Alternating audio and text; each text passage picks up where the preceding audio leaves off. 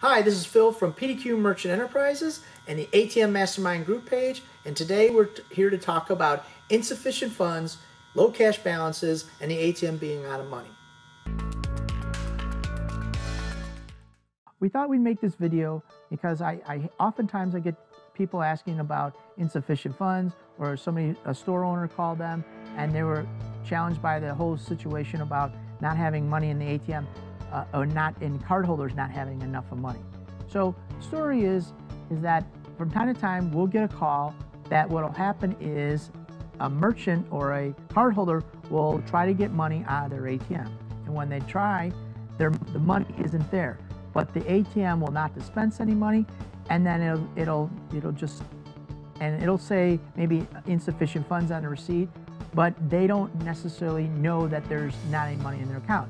They thought there was money in the account. Somebody said they're going to put money in their account, and there just isn't the funds available for them to withdraw. So then take the receipt up to the usually up to the store owner or the manager or whoever's on duty, and they will say, "Hey, the ATM's out of money," or "I tried to get money and the ATM didn't work. I think it's out of money." And so right then, what'll usually happen then is the store owner will call the service number and say, "Hey, the ATM is out of money."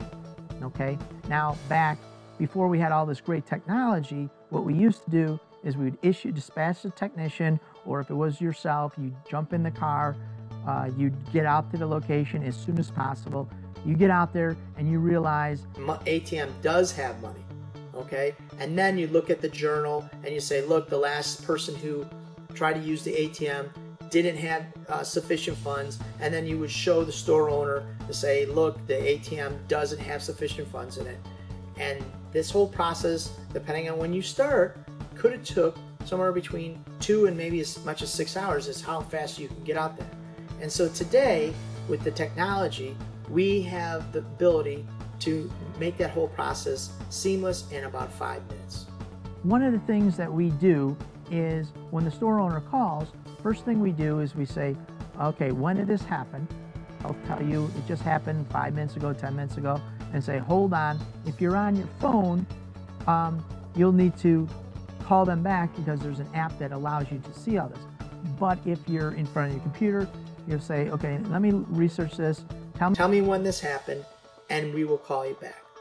So then you'll call, so then you'll get their number, then you'll look on your computer and you'll see, hey, you know what? We got $4,000 in the ATM. The card holder requested $100. It'll say on there, there'll be a tag that says insufficient funds. Or sometimes it'll say exceeded um, withdrawal limit because maybe they they have a limit on their card of $500 or $700 and even though there's money that they could take out their bank isn't allowing them to take out any more money that day so they'll say exceed, exceed withdrawal limit. So call back the store owner and you'll say, look, there's plenty of money in the ATM. That card holder had insufficient funds or that card holder was taking out a lot of money. So it says exceed spending or withdrawal limits. And so that is the issue. But the, the ATM is fu fully functioning and is, is working great. Okay. And so the second point is that app that we just talked about will save it'll it'll save time. So you'll be able to do this instead of taking two to four, six hours to do all that. You can do that in a matter of minutes. Okay. The third point is what we're doing is by doing this, we're providing great customer service. Now, store owner calls, you they have a they have a problem. You say, give me a give me a couple minutes. Let me research the problem. Now you come back with all the necessary um, information to provide to that store owner that this is what happened, this is how it happened, and this is what it means. Okay, on the other end, in the store, you might have the customer, the cardholder saying, I got plenty of money, I don't know what you're talking about, this is all, this something's wrong with this machine, and you can always, it might be, like I said, might be just they exceeded their withdrawal limit. So sometimes that does happen where the person does have plenty of money in there but it, it, it doesn't give them uh, the ability. So that store owner, you might want to coach them and say, you know what, this owner, it sounds like that person exceeded their withdrawal limit. They might want to go to their bank and change the, the, the default from let's say it's five or seven or eight hundred dollars, maybe up to a thousand or fifteen hundred a day. That'll help with this kind of situation.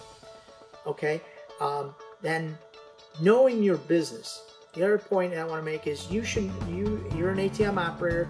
Um, you're gonna know that this happens from time to time. So you're gonna know that how what happens. It's not that the ATM is out of money, but there is these two these two situations exceeds with, withdrawal limits, uh, insufficient funds, and there's also uh, sometimes there is a networking issue. The third thing that happens from time to time is there's a network issue. Is maybe somewhere in the process from them taking the money out, the net a network goes down or they're changing over. Um, sometimes that they they batch out it from time to time at different times of the day, and that network there's interference. So um, sometimes we'll see network uh, a network error. So then what we want to do is we want to say, you know what, try it again in, in 10 minutes. Sometimes the network will go back up. That's like a rarity, but it does happen from time to time. But you got to know that as an ATM operator. Again, you can see that on your app. Utilize those tools, the app, your desktop. Utilize those tools to know what, what's going on so you can save yourself some time from driving out to location. Not that, you know, I don't recommend going out to the location from time to time, visiting with the store owner, but if this saves you some time, it's, it's well worth it. Okay? Um, and then what we found is this usually happens about three to five times a year per ATM, but not in the not in the the transient location. So that would be at a hotel or a, or a, a gas station right off the interstate. Those are more transient location. It doesn't happen very often there. It really happens more in the uh, lower income neighborhoods, a laundromat, a convenience store. That's where it seems to happen uh, quite a bit. And so just to let you know, if you're in some of those neighborhoods, you decide to put an ATM, which is always a good place to put ATMs. Um, a lot of people in the neighborhood, they don't have a lot of banking uh, opportunities, so you providing an ATM in those neighborhoods always a good thing not only for a neighborhood, but it's very lucrative for you as an ATM owner. But in those neighborhoods, you, you do have some challenges, and one of those challenges you will get that call from time to time um, because of whatever circumstances there are. So I hope this helps this video. Uh, again, you can always like and subscribe our YouTube channel. Uh, join our ATM Mastermind group page. Thank you very much.